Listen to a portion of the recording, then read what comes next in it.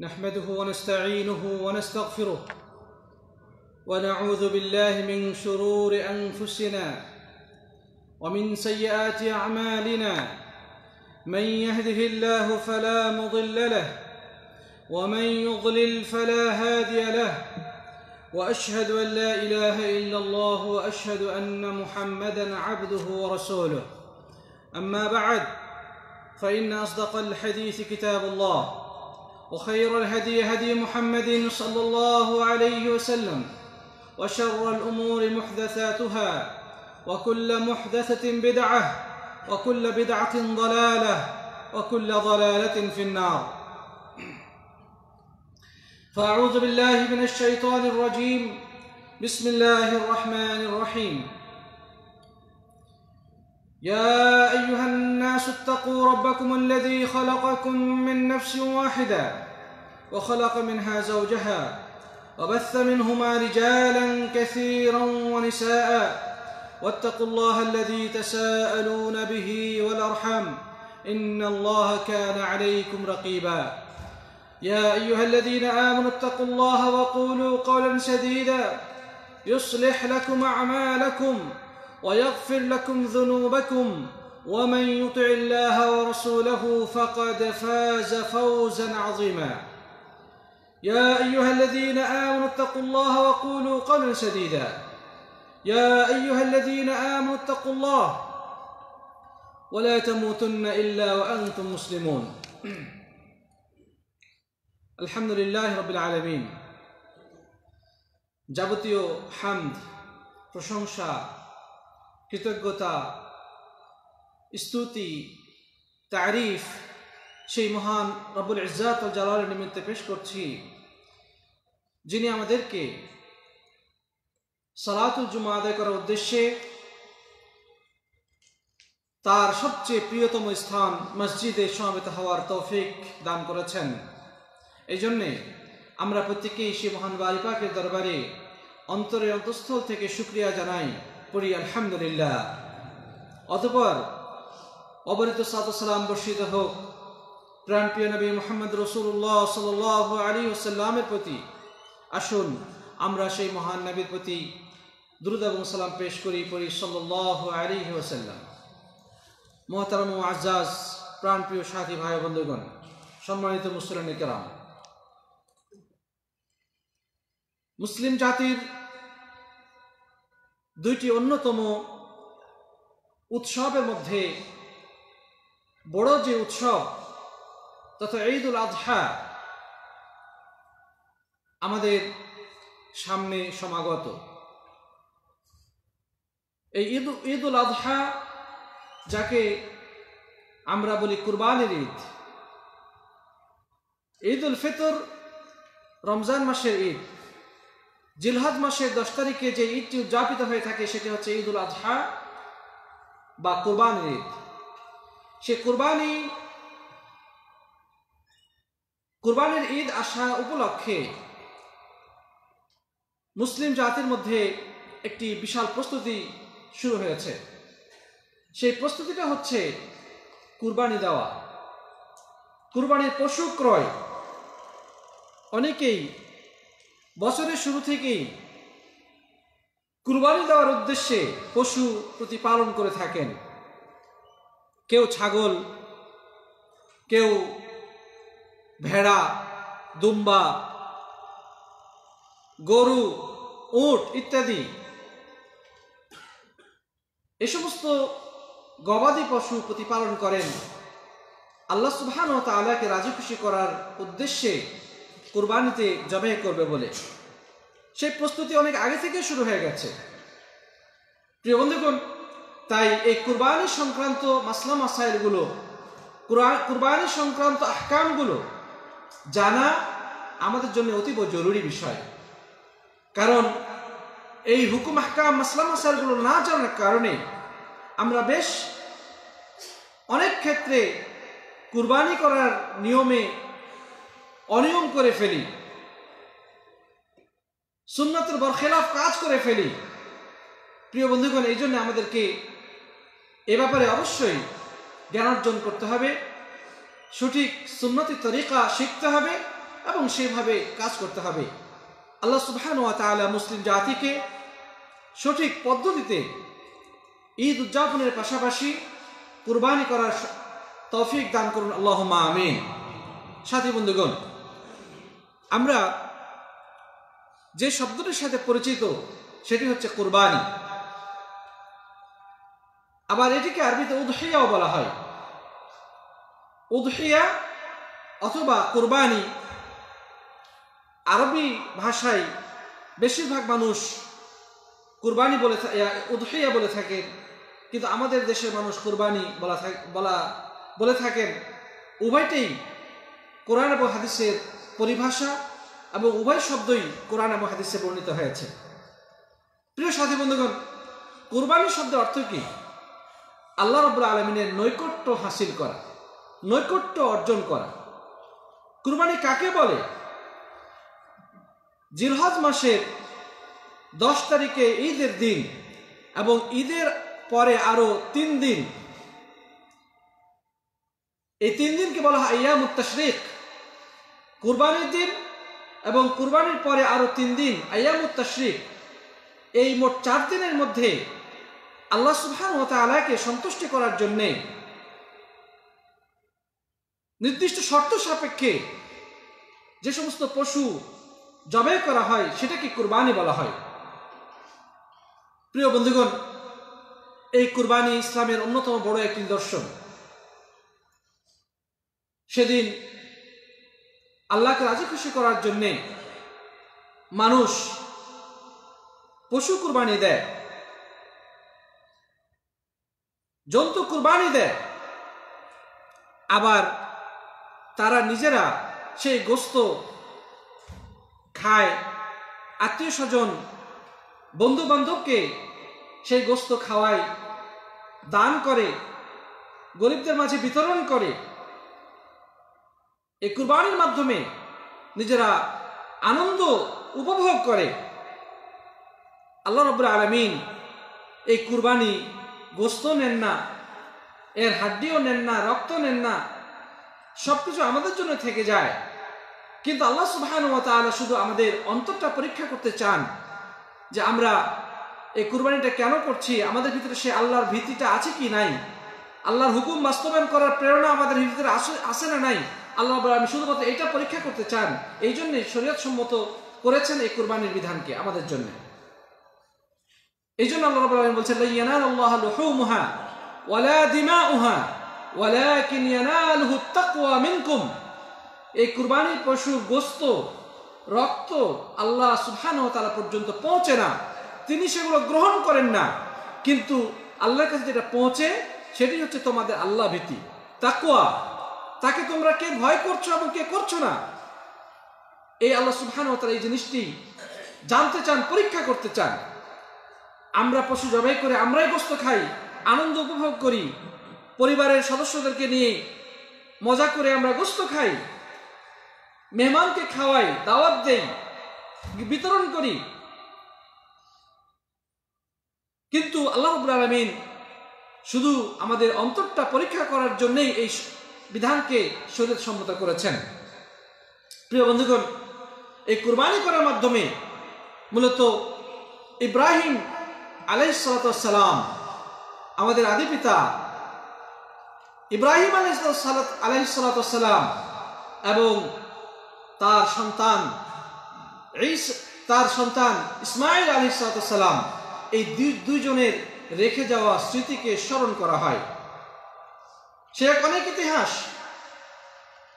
আল্লাহ রাবুল আলমিন ইব্রাহিম আলী সালামকে আদেশ করেছিলেন, তিনি যেন তার সন্তানকে জবে করেন। তার সন্তান হচ্ছিল না। বার্ধক্য বয়সে তার একটা সন্তান হলো। ছেলে সন্তান, তার নাম রাখলেন ইসমাইল এই ছেলে যখন একটু বড় হলো কিশোর বয়সে উপনীত হলো। আল্লাহ রবুল আলমিন তাকে বিশাল পরীক্ষায় ফেলে দিলেন। তার কাছে ওহিনাজর হলো যে, হে ইব্রাহিম, তুমি তোমার এই সন্তানকে আল্লাহ রাস্তায় জবাই করে দাও। আল্লাহ একবার কত বড় পরীক্ষা! এই পরীক্ষায় পাশ করতে হবে। তিনি তো আল্লাহর নবী, আল্লাহর পছন্দনীয় ব্যক্তি। তিনি নির্দ্বিধায় আল্লাহর এই হুকুম বাস্তবায়ন করার জন্য উদ্যত হলেন। তিনি তার সন্তান ইসা তিনি তার সন্তান ইসমাইল আলী ইসলামকে বললেন, এই আল্লাহর বিধানের ব্যাপারে ইসমাইল আলহি সালাম শুধু একটি কথা জিজ্ঞাসা করলেন, হে আব্বা এটিকে আল্লাহর হুকুম? আমাকে জবে করতে বলা হয়েছে আল্লাহর পক্ষ থেকে? তিনি বললেন যে হ্যাঁ আল্লাহর পক্ষ থেকে আমাকে প্রত্যাদেশ করা হয়েছে, ওহি করা হয়েছে, আমি যেন তোমাকে জবাই করি। ইসমাইল আলাইসালাম নির্দ্বিধায় বিনা প্রশ্নে রাজি হয়ে গেলেন। তিনি বললেন আপনি আল্লাহর পক্ষ থেকে যে বিষয়ে আদিষ্ট হয়েছেন সেটা বাস্তবায়ন করুন, আমি সবুর করব। সুহান আল্লাহ প্রিয় বন্ধুগণ, ইব্রাহিম আলী সালাম এই অগ্নি পরীক্ষায় উত্তীর্ণ হলেন। তিনি তার সেই প্রাণপ্রিয় সন্তানকে শুইয়ে দিয়ে ছুরি চালিয়ে দিলেন। কিন্তু আল্লাহ আমি শুধু পরীক্ষা করতে চেয়েছেন, তার অন্তরে আল্লাহর ভয় আছে কিনা? আল্লাহর হুকুম বাস্তবায়ন করার জন্য তেন কোনো ধরনের অজুহাত পেশ করেন কিনা? কিন্তু আল্লাহ রব্বুল আলমিন তার এই কার্যক্রম দেখে তিনি অত্যন্ত আনন্দিত হয়ে গেলেন। তিনি জান্নাত থেকে একটি দুম্বা প্রেরণ করলেন। তাফসিরে এই কথা বলা হয়েছে, তিনি যখন সন্তানের গলায় ছুরি চালানোর উদ্যত হলেন, তখন তিনি চোখ বেঁধে রেখেছিলেন। যেন সন্তানের চেহারা চোখে ভেসে উঠে বা চোখে দেখতে পেয়ে তার ভিতরে ময়া সৃষ্টি না হয়ে যায়। যাই হোক, তিনি ছুরি চালিয়ে দিলেন। কিন্তু আল্লাহ রবুল আলমিন তার হেকমত, এটা আমরা আসলে বুঝতে পারি না। অনেক ক্ষেত্রে আমরা অস্থির হয়ে যাই, আল্লাহর হুকুম কীভাবে বাস্তবায়ন করব। কিন্তু কেউ যদি আল্লাহর প্রতি ভরসা করে আল্লাহর হুকুম বাস্তবায়ন করে আল্লাহ তাকে সাহায্য করেন। তিনি জান্নাত থেকে একটি মোটা তাজা দুম্বা প্রেরণ করলেন। ছুরির নিচে সেই দুম্বা জবাই হয়ে গেল। তার প্রাণপ্রিয় সন্তান ইসমাইল পাশে দাঁড়িয়ে আছেন। চোখ খুলে দেখলেন, জবাই হয়ে গেছে একটি দুম্বা। তার সন্তান ইসমাইল আলী সালাম দাঁড়িয়ে আছেন আল্লাহ সাথী বন্ধুগণ, এই তখন থেকেই মূলত ইসলামের মধ্যে আল্লাহকে সন্তুষ্টি করার জন্যে এভাবে এই কুরবানির দেওয়ার প্রচলন চালু হলো। সেই কুরবানির বিধান আজ পর্যন্ত চালু রয়েছে। নবী আকরম সাল্লাহ সাল্লাম তিনি এটাকে সম্মতি প্রদান করেছেন। তিনি নিজে সেটা বাস্তবায়ন করেছেন। সাহাবেকরাম সেই কুরবানি আদায় করেছেন, কুরবানি প্রদান করেছেন এবং যুগে যুগে মুসলিমগণ এই আল্লাহর বিধানকে বাস্তবায়ন করে চলেছেন। আজ পর্যন্ত সেটা চালু আছে।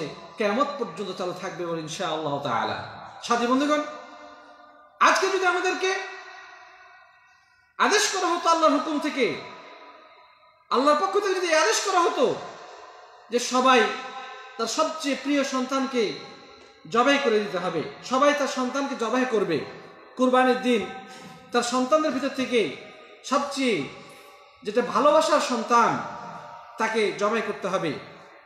প্রিয় ভাইরা আমার, তাহলে এই পরীক্ষায় আমরা উত্তীর্ণ হতে পারতাম কিনা, সেটা বিরাট বড় একটি প্রশ্ন।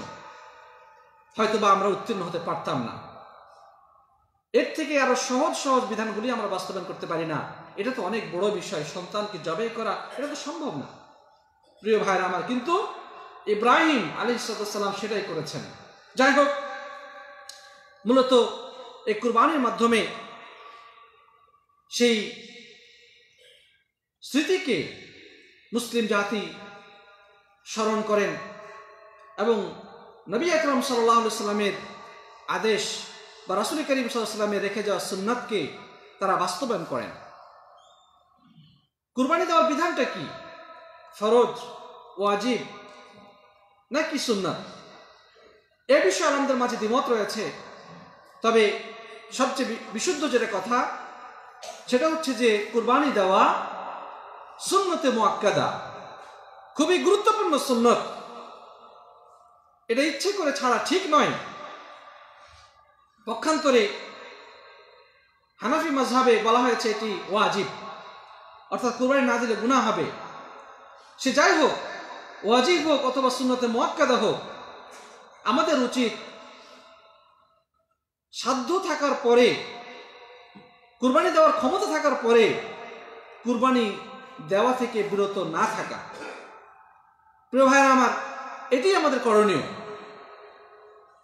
যদিও আবু বকর রদিয়াল্লাহ তার আনহু এবং অমর রদিয়াল্লাহ তার আনহু থেকে প্রমাণিত রয়েছে যে তারা মাঝে মাঝে কুরবানি দিতেন না। তারা কুরবানি দিতেন না, সামর্থ্য থাকার পরেও। কেন? যেন মানুষ বুঝতে পারে যে কুরবানি দেওয়া আজীব নয়। না দিলে গুণা হবে এমনটি নয়। তারা মাঝে মাঝে ইচ্ছে করে কুরবানি বাদ দিতেন। মানুষকে শেখানোর জন্যে, মানুষকে একথা বোঝানোর জন্যে যে কুরবানি দেওয়া আজীব নয়। তবে এটি যে সুন্নতে মোয়াক্কাদা, গুরুত্বপূর্ণ সুন্নতের মধ্যে কোনো সন্দেহ নেই। প্রিয় ভাইয়ের আমার, তাহলে আমাদের উচিত কুরবানি দেওয়ার প্রতি যত্নশীল হওয়া।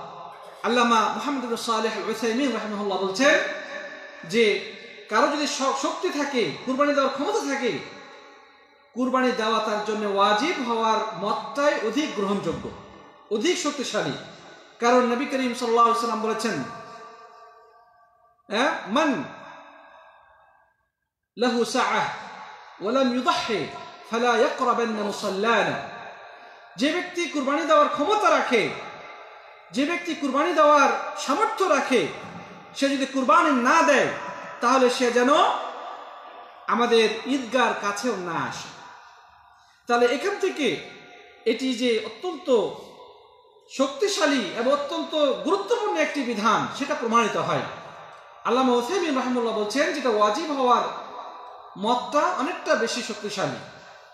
যাই হোক, তবে অধিকাংশ ওলামাদের মত হচ্ছে এটা শূন্যতে মোয়াক্কাদা ভাইরা আমার,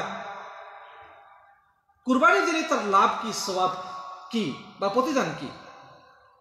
তো এই মর্মে আমাদের একটা জিনিস জানতে হবে যে এই কুরবানি দেওয়া যেহেতু আল্লাহর বিধান, নবী আকরম সাল্লাম সবসময় কুরবানি দিয়েছেন। সুতরাং এটি অত্যন্ত ফজলতপূর্ণ একটি ইবাদত, এর মধ্যে কোনো সন্দেহ নেই। আমাদের উচিত এই ইবাদত বাস্তবায়ন করা এবং সামর্থ্য এবং ক্ষমতা থাকার পরে ইচ্ছাকৃতভাবে বাদ না দেওয়া। তবে কুরবানি দিলে বিশেষ কোনো ফজিলত রয়েছে? এ মর্মে কিছু হাদিস রয়েছে, কিন্তু হাদিসগুলো মহাদিসের দৃষ্টিতে সহি নয়। যেমন বলা হয়ে থাকে, যেমন একটা হাদিস রয়েছে, যে ব্যক্তি কুরবানি দিবে, এই কুরবানির পশুগুলো তার জন্যে পুলসিরাত পার হওয়ার বাহন হয়ে যাবে। এ হাদিসটি সহি নয়। অর্থাৎ কুরবানি দিলে কুরবানি পিঠে চড়ে মানুষ পুলসিরাত পার হবে, জান্নাতে পৌঁছে যাবে। এ একটা হাদিস বর্ণিত হয়েছে, কিন্তু সনদগতভাবে এটি দুর্বল হাদিস। আরেকটি হাদিস ব্যাপকভাবে প্রচলিত রয়েছে, যে কুরবানি দিলে কুরবানির পশুর গায়ে যত লোম রয়েছে, সমস্ত লোমের, প্রত্যেকটি লোমের বিনিময়ে তাকে নেকি দেওয়া হবে। এ হাদিসটিও সহি নয়। এটিও দুর্বল। আরেকটি হাদিস বলা হয়ে থাকে, যে ব্যক্তি কুরবানি দিবে, এই কুরবানির পশুটা তার হাড্ডি, মাংস, তারপরে এর রক্ত, এ সব কিছু নিয়ে কেমন উঠে দাঁড়াবে। এটিও হাদিস সহি নয়। তো মোট কথা ইবনুল আরবি রহমল্লা বলছেন যে কুরবানির ফজলতে যতগুলো হাদিস বর্ণিত হয়েছে, একটিও সহি নয়। সবগুলোই দুর্বল হাদিস। তবে একথা সত্য যে নবী আকরম সাল্লাম নিজে কুরবানি দিয়েছেন সাহাবাগুন কুরবানি দিয়েছেন। নবী সাল্লাম কখনো কুরবানি বাদ দেন নাই। সুতরাং আমাদেরও এই কুরবানি বর্জন করা উচিত নয়। বরঞ্চ কেউ যদি ক্ষমতা থাকার পরে না দেয়, তাহলে অনেক মহাদিসদের মতে, অনেক আলেমের মতে সে গুণাগার হবে।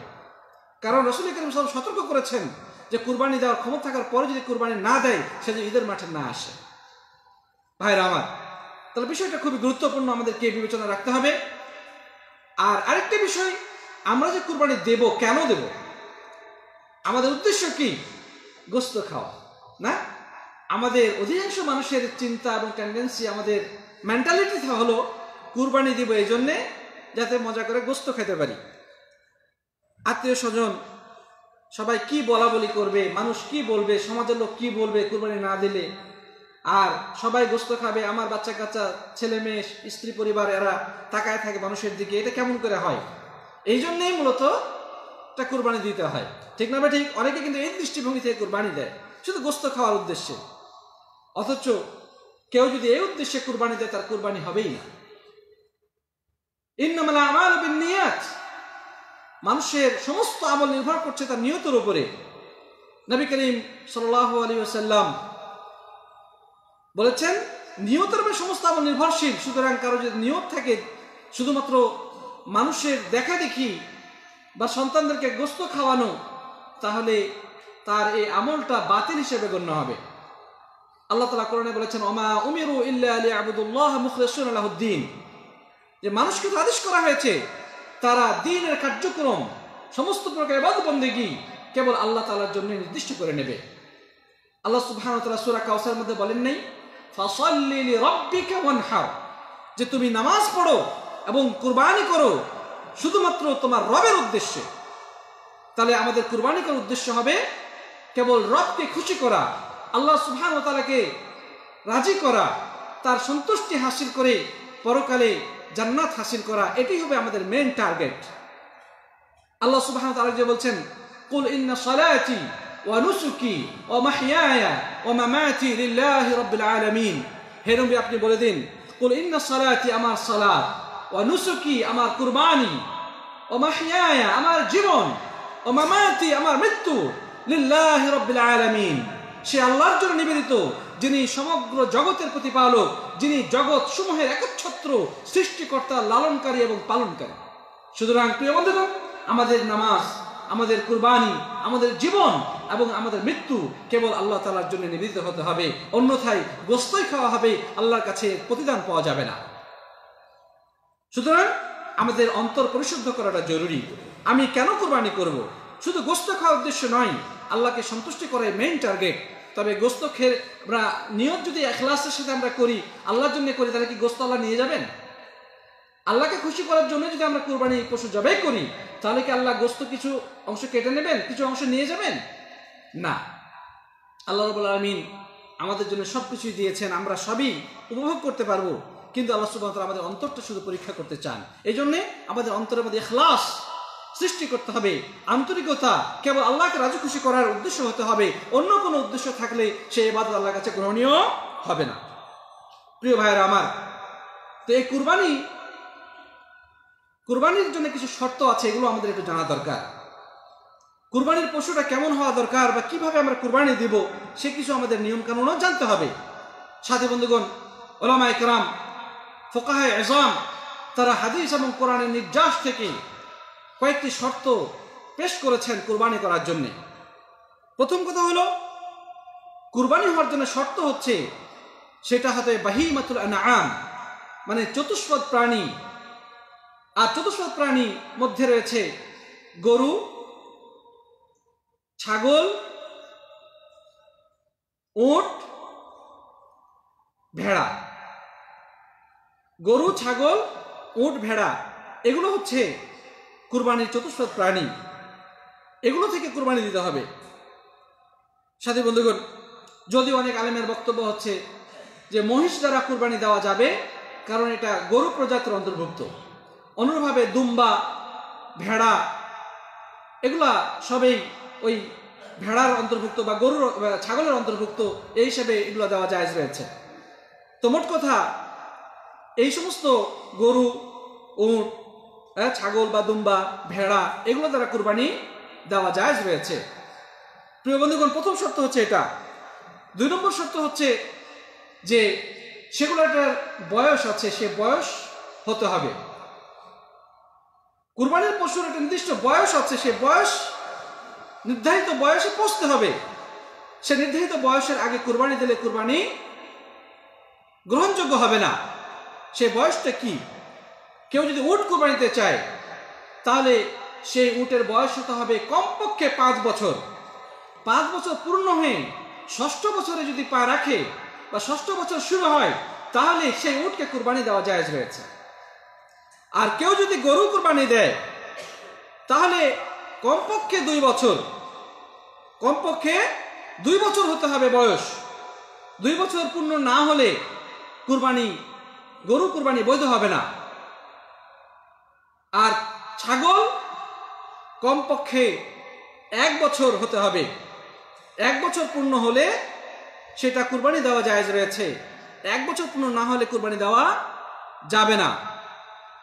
তবে ভেড়ার ক্ষেত্রে কথা হচ্ছে যে ভেড়া এক বছর হলে ভালো, তবে যদি না পাওয়া যায়, নিম্নপক্ষে ছয় মাস হলেও ভেড়া কুরবানি দেওয়া দেওয়া জায়জ রয়েছে। তাহলে আমরা কুরবানি করার ক্ষেত্রে যে পশুগুলো জবাই করব সেগুলো বয়সের দিকে লক্ষ্য রাখতে হবে। উট সর্বনিম্ন পাঁচ বছর, গরু সর্বনিম্ন দুই বছর, ছাগল এক বছর, ভেড়া সর্বনিম্ন ছয় মাস। এই বয়স যদি পশুর হয় তবে শুধুমাত্র সেটাকে কুরবানি হিসেবে জবাই করা যায় রয়েছে। প্রিয় ভাইয়ের আমার তারপরে আরেকটি সত্য হচ্ছে, হলো যে পশুটা জবাই করব সেটা নিজের মালিকানাধীন হতে হবে। নিজের মালিকানাই সেটা থাকতে হবে। অন্যের মালিকানা বা অন্যের ছাগল জবে করা বৈধ হবে না। অর্থাৎ যেটা আমি জবে করব, ছাগল, গরু, দুম্বা, যেটা জবাই করি না কেন, সেটা নিজের মালিকানায় হতে হবে। অথবা অন্যের কোনো হক যাতে এটার সাথে সংশ্লিষ্ট না থাকে, সেটা নিশ্চিত হতে হবে। যেমন আপনার বাড়িতে কেউ গরু পোষণে দিয়ে রেখেছে, অথবা ছাগল পোষণে দিয়ে রেখেছে, আপনি জবে করে খেয়ে ফেললেন, কুরবানি দিয়ে ফেললেন, এটা কি ঠিক হবে? ঠিক হবে না। কারণ এটা তো আপনাকে খেতে দেওয়া হয় নাই আপনাকে পুষতে দেওয়া হয়েছে। আপনি এটার মালিক নন, মালিক আরেকজন রয়েছে। প্রিয় ভাইয়েরা আমার, তাহলে কুরবানি বৈধ হওয়ার জন্য শর্ত হচ্ছে সেটা আপনার মালিকানাধীন হতে হবে। তারপরে এটার নির্দিষ্ট সময় রয়েছে।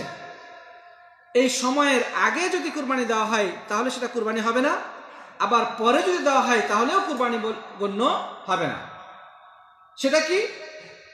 ঈদের নামাজের পরে কুরবানি দিতে হবে। ঈদের নামাজের পরে এবং এরপরে আরও তিন দিন, অর্থাৎ জিলহাদ মাসের দশ তারিখ, এটা হচ্ছে ঈদের দিন। নামাজ পড়ার পরে কুরবানির সময় শুরু হবে। নামাজ পড়ার পর থেকে নিয়ে এগারো তারিখ বারো তারিখ এবং তেরো তারিখ। তেরো তারিখে সন্ধ্যা পর্যন্ত কুরবানি করা জায়জ রয়েছে। প্রিয় ভাইরা আমার, নবী আকরম সাল্লাম মধ্যে বলছেন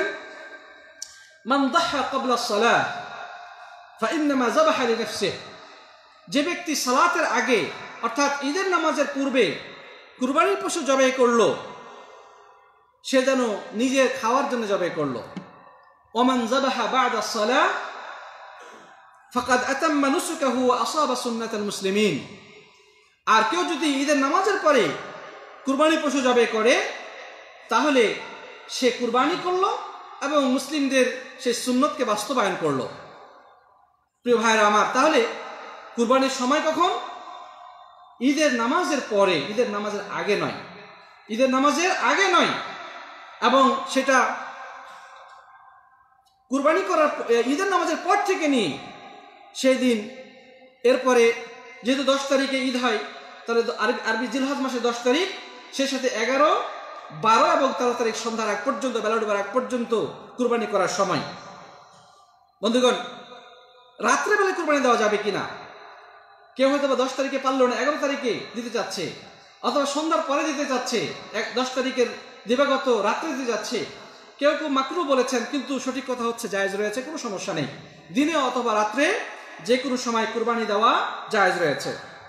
প্রিয় ভাইয়ের আমার, আরেকটি শর্ত আলাবাগুন বলেছেন যে এই পশুটি জবাই করা হবে, সেটা বেশ কিছু শর্ত রয়েছে পশুর মধ্যে কিছু দোষ ত্রুটি থেকে মুক্তি হতে হবে। প্রিয় নবী সাল্লাহ সাল্লাম চারটি দোষের কথা বলেছেন যে কুরবানির পশু এই চারটি দোষ থেকে মুক্ত হতে হবে। তিনি বলেছেন, লা العوراء البين عورها والمريضة البينة مرضها والعرجاف وال- والعرجاء بين ضلع- ضلعها والعجفاء التي تنقى সাথী বন্ধুগণ এখানে আলেমগঞ্জ যেটা বলেছেন যে চারটি শর্ত রয়েছে কুরবানির পশুর মধ্যে মানে এই ধরনের দোষ ত্রুটি থেকে মুক্ত হতে হবে না হলে কুরবানি হবে না এক নম্বর হচ্ছে যে একেবারে কানা, স্পষ্ট কানা। যদি কানা হয়, তাহলে সেটা জবে করা বৈধ হবে না, কুরবানি বৈধ হবে না। তবে সামান্য টেরা থাকলে কোনো সমস্যা নেই। যদি স্পষ্ট কানা হয় মানে সে চোখেই দেখে না। তারপরে একেবারে সুস্পষ্ট রোগা রোগা, ছাগল, গরু, দুম্বা, স্পষ্টভাবে রোগী বোঝা যাচ্ছে এটাও কি করা যাবে না? জবে করা যাবে না। তারপরে ল্যাংড়া। ল্যাংড়া পশু জবে করা বৈধ হবে না। যদি স্পষ্টভাবে নেংড়ে নেংড়ে চলে, তারপরে খুবই দুর্বল, গোস্ত নাই, খালি হাড্ডি সার, কথা বোঝা গেছে কিনা? কিছু কিছু মানুষ আছেন, বাজারে যে কুরবানি কিনবেন, দেখে সবচেয়ে দাম কোনটা কম, যেটা নড়তে পারে না হ্যাঁ গোস্ত বেশি একটা নাই, কতগুলো হাড্ডি দাঁড়ায় আছে কঙ্কাল। এরকম একেবারে মরা টাইপের একটা ছাগল অথবা একটা গরু কিনে নিয়ে এসে কুরবানি দেয়। যা কুরবানিটাকে দিলেই হলো। এ ধরনের জানাশোনা একেবারে দুর্বল, ক্ষীণকায়, এ ধরনের পশু জবাই করলে কুরবানি আল্লাহর কাছে গণ্য হবে না। প্রিয় সাথে বন্ধুগণ, বরঞ্চ যত হৃষ্টপুষ্ট হবে, যত বেশি গোস্ত থাকবে, ততই বেশি উত্তম। কারণ নবী আকরম সাল্লাহ সাল্লাম থেকে হাদিস বর্ণিত হয়েছে জাবাহা রসুল্লাহ সাল্লাহ সাল্লাম كبشين أملحين أقرنين وسمى الله وكبر عليه ووضع رجليه على صفاحهما صفاحها হাদিসটি হচ্ছে নবী আকরাম সাল্লাল্লাহু আলাইহি সাল্লাম দুইটি দুম্বা কুরবানি করেছেন যেগুলো ছিল আপনার শিংওয়ালা শিংওয়ালা কুরবানি মানে খুব মজ- শিংওয়ালা হৃষ্টপুষ্ট এবং রং ছিল যেগুলো সাদা রংটা বেশি, কালো রংটা কম। অন্য হাদিসে আছে যে রাসুল করিম সাল্লামের কুরবানির পশুর রং কেমন ছিল? মানে পেটটা কালো, বাকি বাকি অংশগুলো সাদা, পাটা কালো, চোখের অংশ আশপাশগুলো কালো। অর্থাৎ সাদা এবং কালোর মিশ্রণ। আলেমগণ এর জন্য বলেছেন, ছাগল জবা করার ক্ষেত্রে আপনার একটু সাদা কালো মিশ্রিত পশু বা ছাগল জবাই করাটা বেশি উত্তম। যেটাতে গোস্ত বেশি হবে, শক্তিশালী, মজবুত, শিংওয়ালা, আবার ভাঙ্গা শিংওয়ালা দিলে হবে না। সেটা মজবুত শিংয়ের অধিকারী হতে হবে। মোট কথা, সুন্দর দেখে, হৃষ্টপুষ্ট দেখে আমাদেরকে পশু কুরবানি করার চেষ্টা করতে হবে। আবার একটা অসুস্থ প্রতিযোগিতা শুরু হয়েছে আমাদের সমাজে। বাজারের মধ্যে সবচেয়ে দামি কুরবানি করব। বরঞ্চ অনেকের চেষ্টা থাকে, কিছু কিছু কোটিপতির, শিল্পপতির চিন্তা থাকে যে এবছরে সবচেয়ে বেশি দামের কুরবানি আমাকে করতে হবে। কারণ কুরবানি পরের দিনে টিভি সাক্ষাৎকার আসবে এবং বলা হবে যে আপনার এই কুরবানির দাম কত ছিল। দেখা যাবে যে একটা কুরবানির দাম হয়তো বা পাঁচ লক্ষ টাকা। দশ লক্ষ টাকা। টিভিতে তার নাম প্রকাশ হবে। তার উদ্দেশ্য যদি এটা থাকে, তাহলে তার কুরবানি শুধু লোক দেখানোই হবে, প্রশংসাই পাবে। আল্লাহর কাছে সেটা গ্রহণীয় হবে না। সাথে বন্ধুগণ কুরবানির পশুর গোস্তগুলা কি করব। গোস্তরা গোস্ত নিজে খাব, মানুষকে খাওয়াবো, গরিবদের মাঝে বিতরণ করব। নবী আকরাম সাল্লাহ সাল্লাম বলেছেন, কুলু ও তসদ্দাক ও দাখিরু যে তোমরা খাও সৎকা করো এবং জমা রাখো ভবিষ্যতে খাবার জন্য বর্তমানে ফ্রিজের মাধ্যমে গোস্ত জমা রাখা যায় কিন্তু তিন ভাগে সমান সমান কাটাই কাটা তিন ভাগ করতে হবে, এমনটা বাধ্যবাধকতা নাই যদি প্রয়োজন হয় বাড়ির সদস্য সংখ্যা বেশি, গোস্ত বেশি খাওয়ার প্রয়োজন বেশি ভাগ রেখে দিতে পারেন। কোনো সমস্যা নেই। কিছু গরিবদেরকে দিলেন আত্মীয় সঙ্গে ডেকে খাওয়ালেন। কিন্তু একেবারে কাটাই কাটা তিন ভাগ করতে হবে এমন বাধ্যবাধকতা নাই? তবে সমাজে যদি প্রচলন থাকে যে না, সবাইকে তিন ভাগের এক ভাগ দিতেই হবে, তাহলে সেই বিধানটা মানা উচিত। এটা বরখিলাপ করলে সমাজের মাঝে বিশৃঙ্খলা লাগতে পারে। প্রিয় বন্ধুগণ, কে জবাই করবে? নিজের হাতে জবাই করাটা উত্তম। আমাদের সমাজে ইমাম সাহেবকে নির্ধারণ করে রাখে। ইমাম সাহেবের কাজ করে ছুরি নিয়ে ঘুরে বেড়ানো। ঠিক না বেঠিক? ঈদের দিন ছুরি নিয়ে ঘুরে বেড়াবেন খালি জবাই করে দেওয়ার জন্য। আর হুজুরের জন্য স্পেশাল কিছু থাকে। নাকি বলেন? সবচেয়ে উত্তম হচ্ছে কোনো হুজুর না, ইমাম না। আপনি নিজের হাতে জবাই করবেন, নিজের করবেন, এটা সবচেয়ে উত্তম কাজ। চামড়াটা কি করবেন? চামড়াটা সৎকা করে দিবেন। চামড়াটা নিজে ব্যবহার করা জায়েজ নেই। বরং সেটা সৎকা করে দিতে হবে, দান সৎকা করে দিতে হবে। তারপরে প্রিয় সাথী বন্ধুগণ, যারা কাটাকাটি করবে, ওদেরকে কিছু গোস্ত দেওয়া যাবে কি না অনেকে এটা করেন। না, এটা ঠিক না। গোস্ত দেওয়া যাবে না। আলাদা আলাদাভাবে তাকে পয়সা দিতে হবে। গোস্ত দিতে দান সৎকার হিসেবে দিতে পারেন, কিন্তু তাকে বিনিময় হিসেবে, এটার কাজের বিনিময় হিসেবে দেওয়া জায়েজ হবে না। আরেকটি মাসলা না বললে হচ্ছে না, সেটা হচ্ছে অনেকেই অপেক্ষায় থাকে কুরবানির সময় গরুর একটা ভাগ দিবেন এবং এক ভাগ তার বাচ্চার আকিকা নামে, আকিকা হিসেবে দিবেন। এটা ঠিক না ঠিক? না। এটা ঠিক নয়।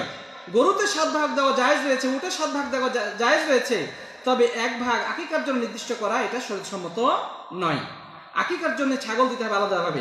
তবে কুরবানির দিনে কেউ যদি আকিকা দিতে চায়, আলাদাভাবে দিতে পারে, কোনো সমস্যা নাই। ছাগল দিতে পারে। কিন্তু গরুর একটা ভাগ আকিকার জন্য নির্দিষ্ট করা এটা শরীয়ত সম্মত নয়। প্রিয় সাথে বন্ধুগণ, আরও অনেক মাসলা মাসা জানা আছে। তাই আমরা আসুন এই কোরবানের হুকুম হাকামগুলো ভালোভাবে জেনে নেই, সেগুলোকে জেনে বুঝে আমরা আমল করার চেষ্টা করি, কুরবানি আল্লাহকে খুশি করার জন্য করি, আল্লাহ যেন আমাদের সবাইকে তৌফি দান করে আল্লাহ আমিন। বারাকাল্লাহ লানা ওয়া লাকুম ফিল কুরআনিল আযীম ওয়া নাফা'না ওয়া ইয়্যাকুম বিল আয়াতি ওয়া যিকরিল হাকীম।